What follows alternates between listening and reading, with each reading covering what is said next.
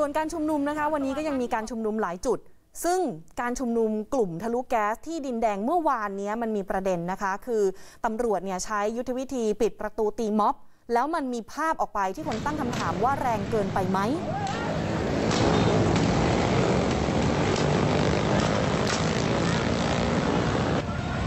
คือก็จะมีหลายคลิปหลายภาพนะคะที่แสดงให้เห็นว่าปฏิบัติการของตำรวจเนี่ยใช้วิธีขี่มอเตอร์ไซค์ ไล่ติดตามตัวผู้ชุมนุมบนรถมอเตอร์ไซค์ก็คือกลางถนนนะคะทำให้ผู้ชุมนุมรถล้มกันไปหลายคัน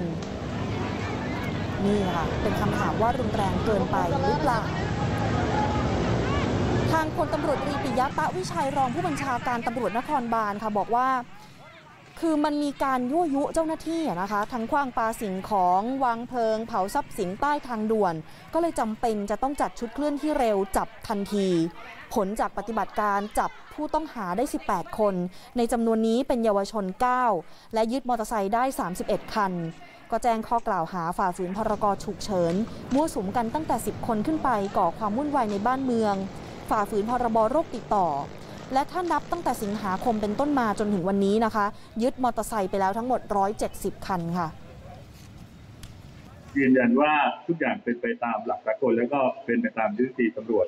นะครับ อาจจะมีมุม